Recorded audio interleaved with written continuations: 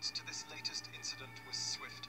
According to local media, at around 10 o'clock local time, two men armed with knives entered a church in a suburb of Rouen as a service was taking place. It's believed five people were taken hostage, including a priest and two nuns. Officials say the priest was killed with a blade and another person has been seriously injured. The two attackers were shot by police. Les deux assaillants sont sortis et ils ont été neutralisés. The two assailants left the church and they were shot dead by the security forces. Investigations are underway.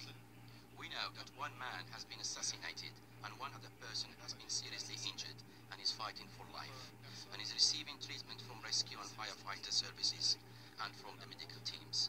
Operations continue, but the hostage-taking situation is definitely over. The church is in Saint-Étienne. According to French media, the alarm was raised after one of those being held by the hostage takers managed to escape. Elite security units were quickly at the scene.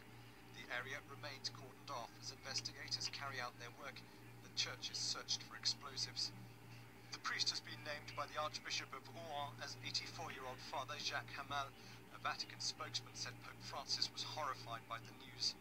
French President Francois Hollande has visited the scene. He said the two men who attacked the church has claimed to be Daesh, the Arabic name for the group calling itself Islamic State. Once again, we are safe. We are facing another challenge. The threat remains high, very high. What we have lived over the past few days and even few years, we are facing a group of IS who has declared war against us. We should face up to this war using all the means within the respect of the law. Forensic teams are expected to stay at the scene for the rest of the day. France's anti-terrorist prosecution unit has said it has taken over the investigation. Daniel Bircher, BBC News.